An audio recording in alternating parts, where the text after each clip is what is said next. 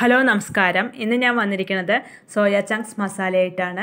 ഇത് ചപ്പാത്തിയുടെ കൂടെയും അപ്പത്തിന്റെ കൂടെയൊക്കെ നല്ല കോമ്പിനേഷനാണ് ഇത് എങ്ങനെ ഉണ്ടാക്കുക? അതിന് വേണ്ട സാധനങ്ങൾ എന്തൊക്കെയാണ് വേണ്ടതെന്ന് നോക്കാം.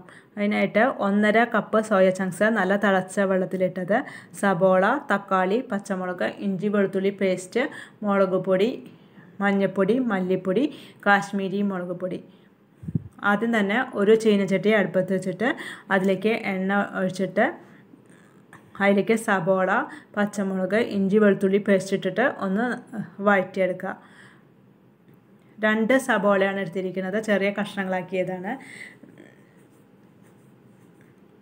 അതിലേക്ക് ഒരു ടീസ്പൂൺ മഞ്ഞൾപ്പൊടിയും ഒരു ടീസ്പൂൺ മുളക് പൊടി ഒരു ടീസ്പൂൺ കാശ്മീരി മുളക് പൊടിയും രണ്ട് ടേബിൾ സ്പൂൺ മല്ലിപ്പൊടിയാണ് എടുത്തിരിക്കുന്നത്. മല്ലിപ്പൊടിയാണ് ഞാൻ കുറച്ച് അധികം എടുത്തിരിക്കുന്നത്. രണ്ട് ടേബിൾ സ്പൂൺ മല്ലിപ്പൊടി എടുത്തിട്ടുണ്ട്.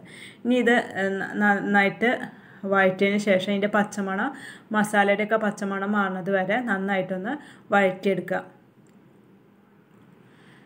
മസാലയുടെ പച്ചമണം മാറിയതിന് ശേഷം അതിലേക്ക് നമുക്ക് തക്കാളി ചേർക്കാം.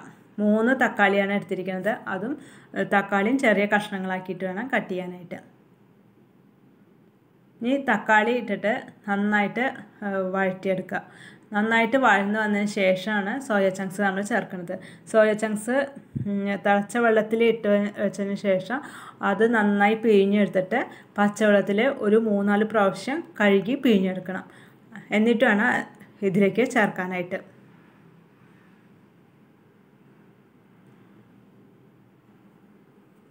സോയ ചങ്ക്സ് ഇത് ചെറിയ സോയ ചങ്ക്സ് ആണ്. അപ്പോൾ അതുകൊണ്ട് ഞാൻ അത് അങ്ങനെ തന്നെ ചേർക്കുകയാണ് ചെയ്യണത്. അപ്പോൾ വലിയ സോയ ചങ്ക്സ് ആണെങ്കിൽ അതൊന്ന് കട്ട് ചെയ്തിട്ട് വേണം ചേർത്ത് കൊടുക്കാനായിട്ട്.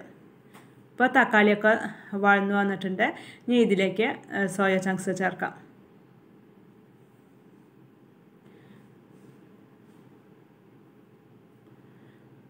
സോയ ചങ്ക്സ് നല്ലോണം പിഴിഞ്ഞിട്ട് ഇതിലേക്ക് എല്ലാം ചേർത്തിട്ട് നന്നായിട്ടൊന്ന് മിക്സ് ചെയ്യാം.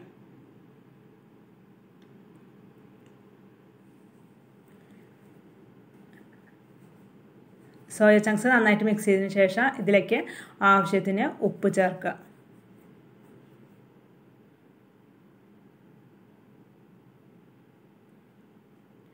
ഉപ്പ് ചേർത്തിട്ട് ഇനി ഒന്നും കൂടി ഒന്ന് മിക്സ് ചെയ്തതിന് ശേഷം ഇത് അടച്ചു വെച്ചിട്ട് ഒരു പത്ത് മിനിറ്റ് നമുക്ക് ഇത് സോയ ചങ്ക്സ് വേവിച്ചെടുക്കാം.